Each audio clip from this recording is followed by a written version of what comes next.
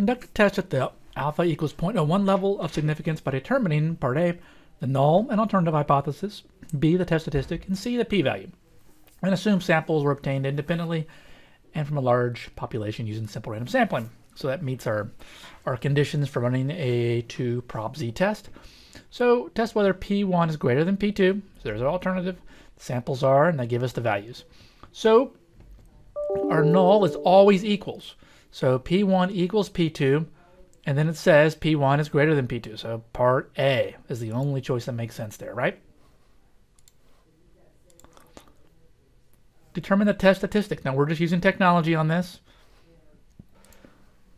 Now let me warn you, do not click view an example on this. It, it, they do everything by hand. I'm not sure why they're still doing that, but most of their problems, if you click view an example, let's check this out.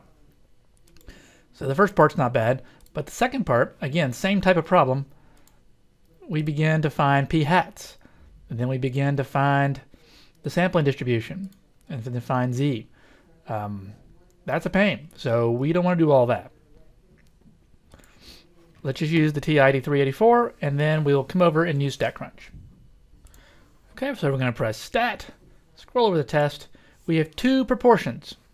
So we're going to go to 2 prop z test, number 6. Okay, so x1 is 116. N1 is 246. X2 is 133. And N2 is 305. And we want P1 greater than P2, which is what we have. And calculate. You could also select draw. Either one is fine. So our p-value, so here's our z test, our test statistic here. z at 0.83.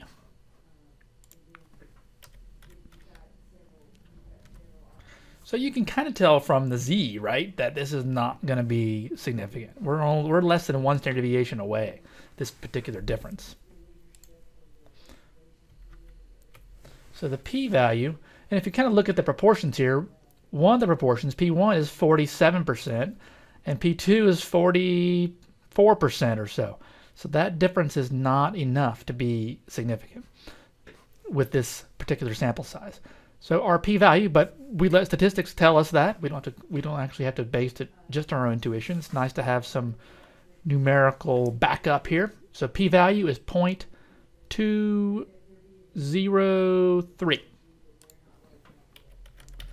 That's pretty high by almost any standard. So let's see if they tell us.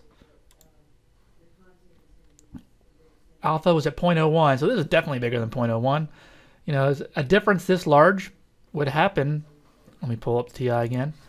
So again, a difference this large between 0.47 and 0.471 and 0.4436, it's going to happen 20% of the time. So we're not willing to, to reject the fact that these things um, could be equal. So do not reject HO. Uh, careful about the reason though there's not enough evidence to conclude that, and then P1 is greater than P2.